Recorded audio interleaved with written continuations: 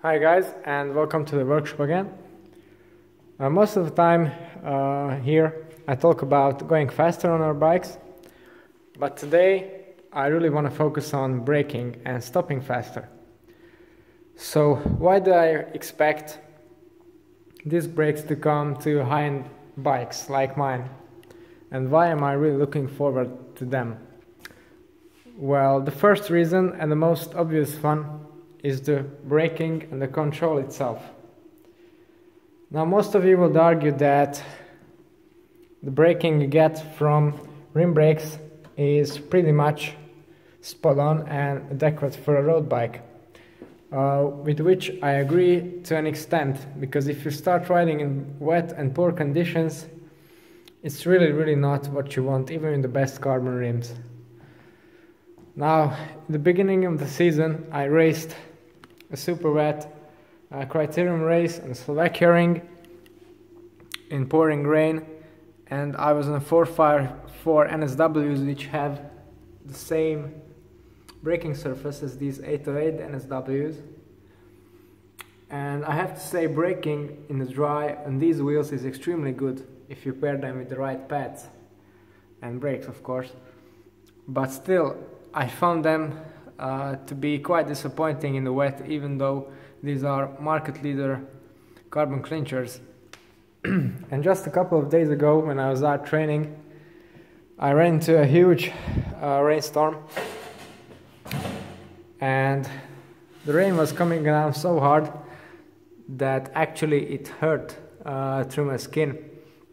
So I really really needed to stop for shelter. And I got near a bu bus stop and I was on a slightly uphill road traveling around let's say 30 km per hour not very fast by any means. And I decided to stop for that bus stop. Well the rain was coming down so hard that I got basically aquaplaning on, on my brakes.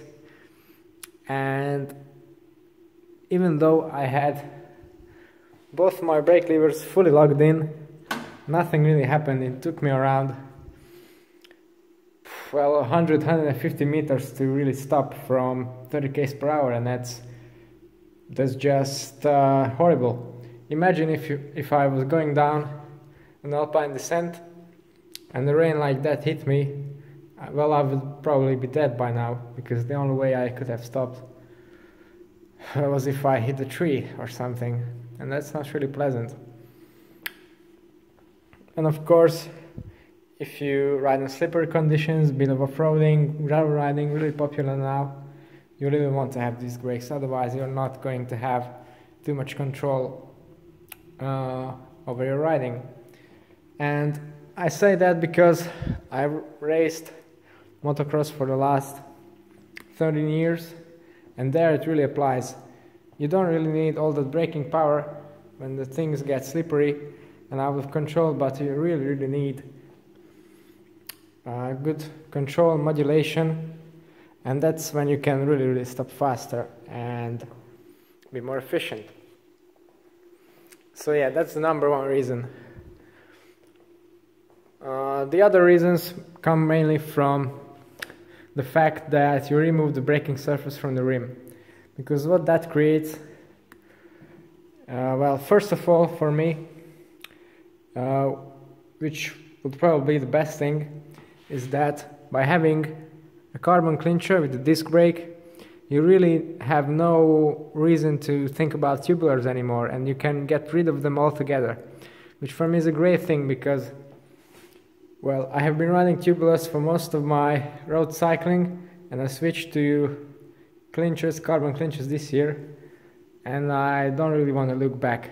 I still have this one tubular wheel set and the fact that it offers no real performance or comfort advantages and it takes a day to change the tire properly makes it really uh, unsuitable for riding I think in 2017 but the only uh, advantage you get is the safety in this sense because it's really hard to get a brake kit failure from a tubular rim due to the construction.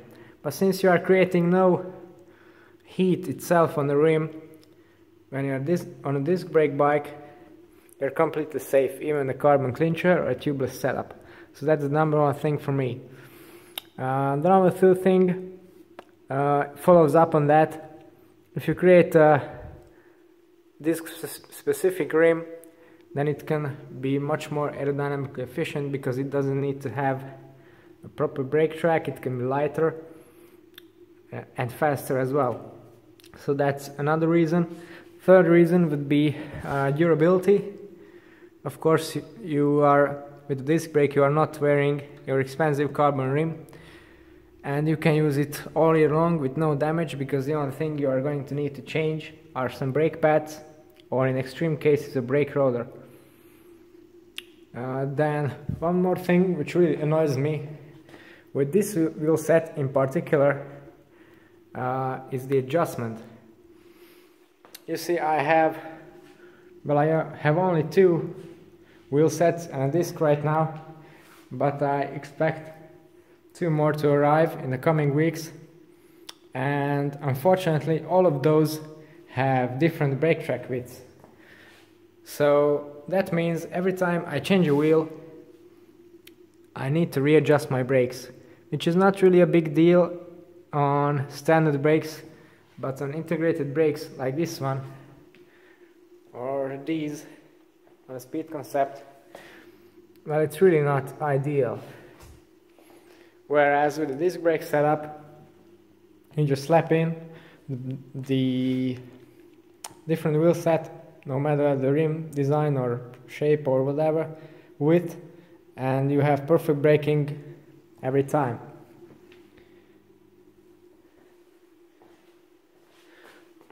another thing that comes or sprouts from this again this particular wheel set 303s I can adjust my brakes to have a good bite point at the rear and tons of brake rub when sprinting or I can adjust them like this. So I get really poor braking as you can see. It doesn't nothing happens up until basically this point and you get proper braking at this point not ideal. But this way you have no brake rub. So again you don't have to choose with disc brake at least to do a compromise in this aspect you can have no brake rub and perfect braking every time in every condition. And finally I think uh, great feature of disc brakes it has been on the mountain bikes for a while are through axles now again with through axles you don't have to worry about uh, wearing out your fork or your frame dropouts by constantly changing your wheels. I think it's even faster or they can be made just as fast as quick releases. If you know what you're doing, you can change them pretty much just as fast. So that's uh, really, really not an issue. And your frame and fork gets stiffer as well and you get perfect alignment every single time.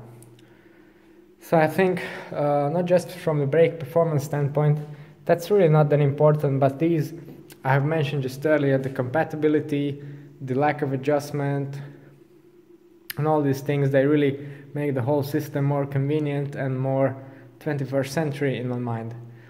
And if you look at this or these two highly integrated bikes, even though uh, the brake cables here are properly shielded from the debris, you are still going to have to change them at some point. Whereas with hydraulic disc brakes, you can have electronic shifting, hydraulic braking, and don't have a single tape uh, cable on your bike, which is well another simplification of maintenance. Because if you need to bleed the hydraulic brake, you just do it. You don't have to take the whole front end apart or route new brake hoses or anything as with internal and outer, outer cables where basically every time you need to change that it takes a whole day so yeah that's uh, another advantage in my mind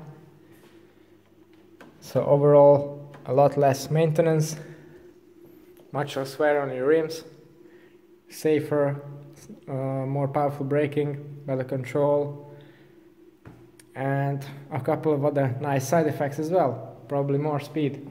Well, obvious downside will be the weight, but I think in the coming generations of bikes that's uh, going to be addressed by the manufacturers, so by optimizing their frames and brake designs they will come down to basically the level of rim brakes. From the sa safety standpoint, I don't think that these brakes are a valid excuse for safety reasons. I have raced motocross, as I've said, pretty, uh, pretty much every race has some kind of crash or incident involving one or two riders or a big pileup at the start. I haven't heard anyone ever to be injured uh, by disc brake in any of these scenarios, so that's just not a valid point. In terms of aerodynamics, I think that new Cervélo or other TT bikes prove that uh, these brakes can be made more aero than rim brakes. They can be integrated a bit nicer, or the Parley for example. And I think TT bikes should also have disc brakes because well they're even faster than a road bike. They need even more braking. I think think it makes a lot of sense. So I'm definitely a fan and I really can't wait for Trek or someone else to release two bikes at this level and in this category to have disc brakes. Okay, so this was pretty much my opinion about disc brakes summarized in some points. Uh, but I'm pretty sure there will be someone who doesn't agree. If you don't, then of course you can leave a comment down below. And if you'd like to know more about my bikes and some uh, tech related stuff and tips, how to make your bike faster, then don't forget to tune into my channel and subscribe. It's all for today, thanks for watching and see you next time.